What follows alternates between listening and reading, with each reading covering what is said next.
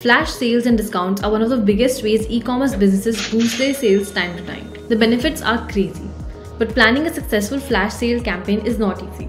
You can't simply just throw away discounts and expect them to bring you results. Hi, I'm Urvashi and today we're going to deep dive into how you can set up a successful flash sales campaign on your Shopify store. What are its benefits and which famous stores uses it and what are the best strategies. Flash sales are limited time offers that provide discounts or exclusive deals on products, creating a sense of urgency among consumers. The strategy behind flash sales leverage the psychological principles of scarcity and urgency, making customers to act fast before the deal disappears. The FOMO kicks in and the customer ends up doing an impulse purchase. This not only helps you spike sales volume but also introduces new customers to your brand. Now that you're up to speed on flash sales, let's explore the benefits they bring to the table. Immediate boost in sales and traffic. Flash sales are like magnet for both new and existing customers, drawing them into your store for the promise of unbeatable deals. For example, Amazon's Prime Day. It creates a crazy urgency in the minds of buyers significantly increasing sales and attracting millions of shoppers to their platform. Inventory management and clearance.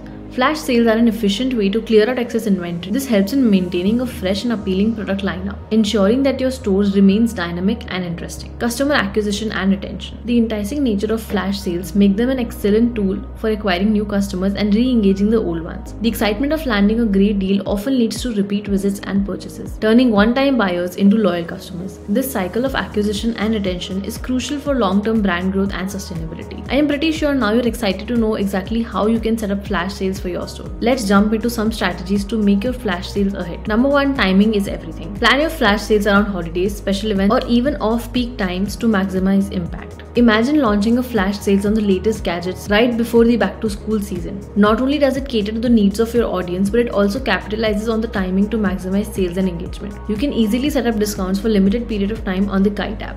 Kite gives you full branding control. It's built for Shopify and uses latest Shopify tech. Find the link in the description. Number 2 Exclusive offers for loyal customers. Reward your loyal customers or second time buyers with early access or additional discounts during your flash sales. This not only strengthens their loyalty but also incentivizes others to join your loyalty program or subscribe to your newsletter for future perks. This exclusivity makes them feel valued and increases their likelihood of participating and spreading the word. Number 3 Leverage social media for hype and engagement.